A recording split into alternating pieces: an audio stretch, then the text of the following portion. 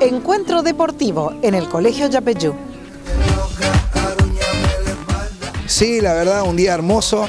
En este caso le tocó el turno a la primaria. Hace un par de semanas tuvimos la Copa Yapeyú para nivel secundario y bueno, y ahora con este encuentro deportivo, también denominado Copa Yapeyú Junior, pero con la modalidad de encuentro en tres disciplinas, sextobol para las niñas, atletismo mixto y bueno, y fútbol para los varones en un ámbito que la verdad es muy pero muy interesante acá en el campo deportivo y ecológico de Yapeyú.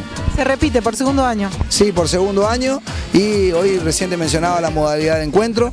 Acá nadie gana y nadie pierde, lo importante es hacer actividad física, recuperar un espacio que tiene el niño que desafortunadamente eh, no lo puede tener hoy en la calle, jugar al fútbol, hacer actividades, andar en bicicleta. Sabemos que está bastante complicado mandar nuestros niños como lo hacíamos nosotros cuando éramos chicos, entonces eh, tenemos esta iniciativa de hacer por segunda vez un encuentro deportivo donde los chicos vengan, compartan, jueguen, se le va a entregar también distintos elementos con un desayuno. Y bueno, como te decía, la finalidad es que los chicos hagan actividad física y compartan un muy buen momento eh, entre ellos y también con las escuelas que nos visitan. Seguramente con el correr de los años ir incrementando el número de colegios visitantes y llegar a lo que es la Copa Yapeyú. Sí, seguramente que sí. Nuestra, eh, siempre la invitación está hecha para todos los colegios que puedan y quieran participar.